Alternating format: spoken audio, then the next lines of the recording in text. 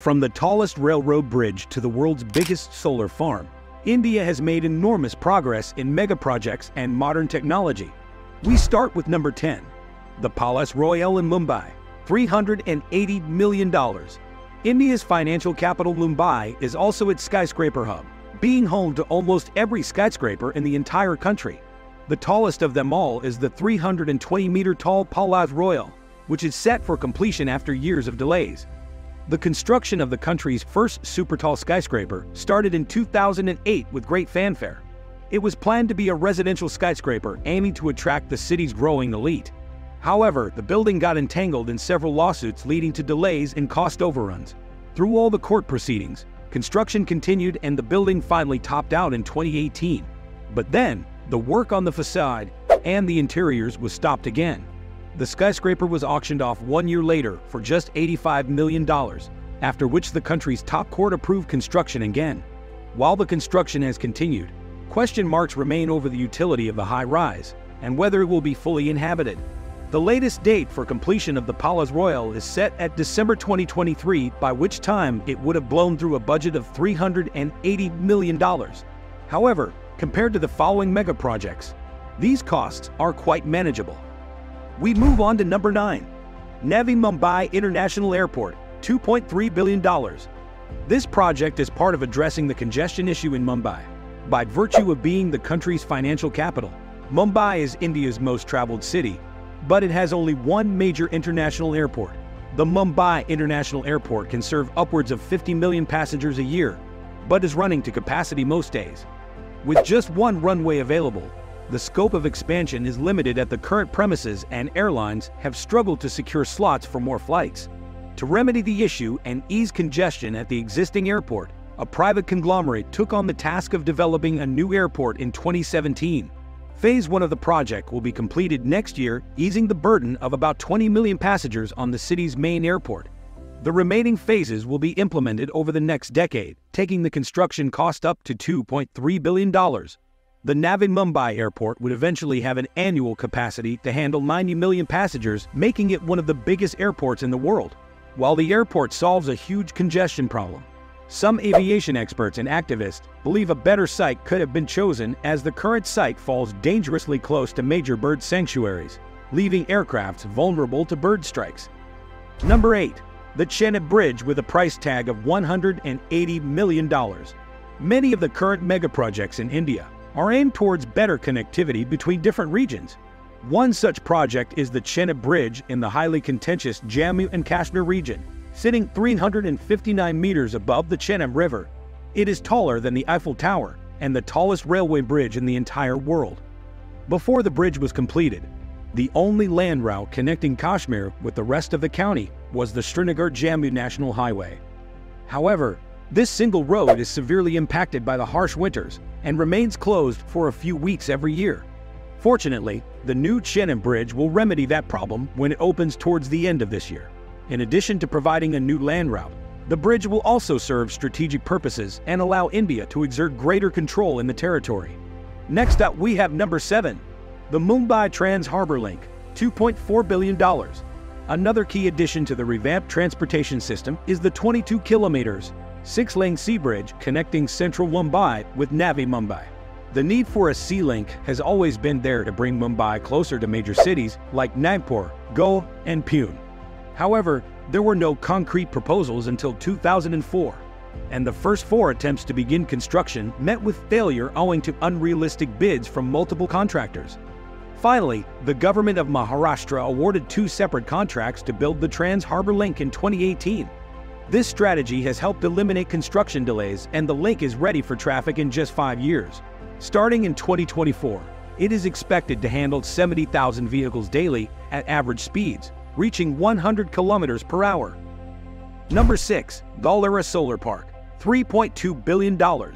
India's emergence as a tech giant in recent years is understandably accompanied by progress in the renewable energy space.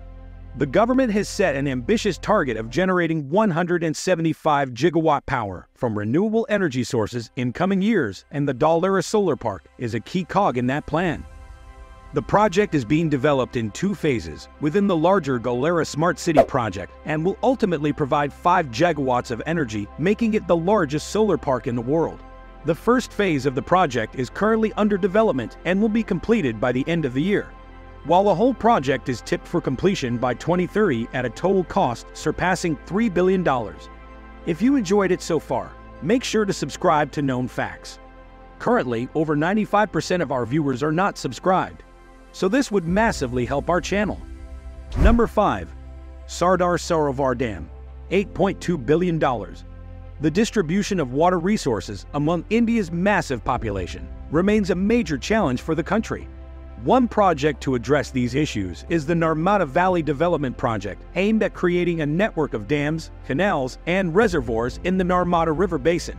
First proposed in the 1940s, the plan included building a series of dam and canal projects along the valley. However, as with most water and power distribution plans, the project has been the subject of controversy for decades due to its social and environmental impacts.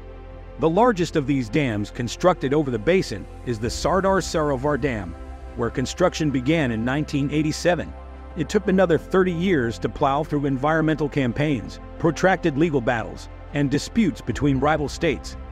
In the end, the 1,450 megawatt hydroelectric project was officially inaugurated in 2017, with construction costs reaching $8.2 billion. The dam now irrigates land and provides electricity across four Indian states. Number 4. GIFT City, Gujarat $11 billion. Building on its recent achievements, India aspires to go toe-to-toe -to -toe with global financial centers like the United States, the United Kingdom, and Singapore. Gujarat International Finance Tech City is leading that push as it attracts the biggest financial players in the world. Construction of the $11 billion business district started in 2013, which comprises banks, capital market entities, insurance companies, and manufacturing units. To date, there are over 200 operational business entities on the 900-acre site, while international exchanges are turning over $4 billion a day. Major tenants in the Special Economic Zone are the Bombay Stock Exchange, Brokers Forum, and the National Stock Exchange. It is also home to India's first bullion exchange, which will help the world's largest gold importers to set the price standard internationally. Currently labeled as a smart city, India's biggest tech hub will soon become the GIFT global city with the government clearing the path to triple its size. However, India is planning a mega project even bigger in scale and at twice the cost. Number 3. Zojila and Z-Morh Tunnel Projects $1.2 billion. Kashmir is also the destination of a billion-dollar project that involves drilling tunnels to connect the valley with Ladakh. Two of the most important tunnels are Zojila and Z-Morh on the Srinagar-Leh Highway.